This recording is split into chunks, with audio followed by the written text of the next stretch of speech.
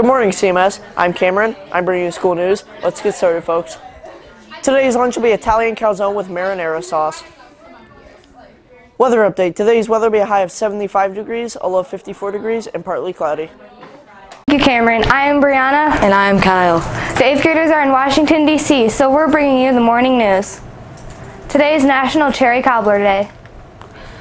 According to the News Herald, Leslie Brown of Cleveland Heights, 113, is now believed to be the oldest American.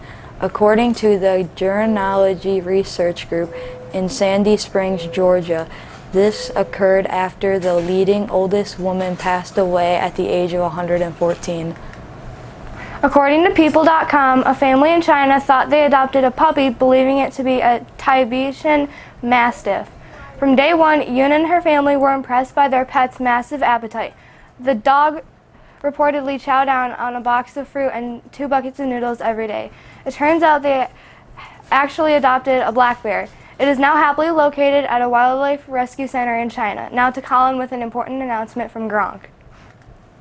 Do you think it's a good idea to participate in the Eraser Challenge? Oh, no, no, no, no, no, no. No, no, no. So knock it off, CMS. Now for CMS updates. 7th grade AHLI members, we have a double, a double hitter today. We will meet in the library at 9.30 for our trip to Chapin Forest. It's a hike, so wear comfortable closed-toed shoes along with socks. Then we will be preparing the garden after school, so make sure you have a ride that will pick you up at 4 p.m. There will be a 6th grade AHLI field trip on Monday. Please meet in the Media Center at 9.30.